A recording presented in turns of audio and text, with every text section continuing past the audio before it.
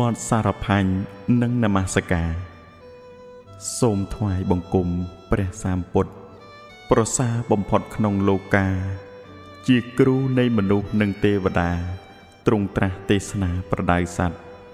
ចង្អុលឲ្យដើរផ្លូវកណ្ដាលមាគាត្រកាលអាចកំចាត់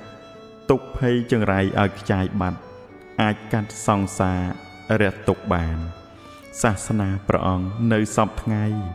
សត្វមាននិស័យពីបុរាណប្រឹងរៀនប្រឹងស្ដាប់ចេះចាំបាន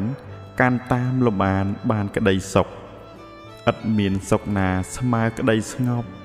បញ្ចប់ត្រឹមសុខឃ្លាតចាកទុក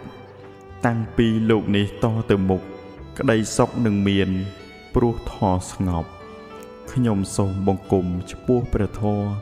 ព្រះសង្ឃបវរទាំងគ្រប់សពរួមជាត្រៃរតគួរគោរព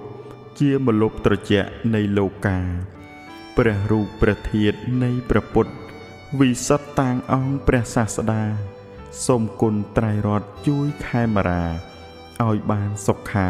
តរៀងទៅ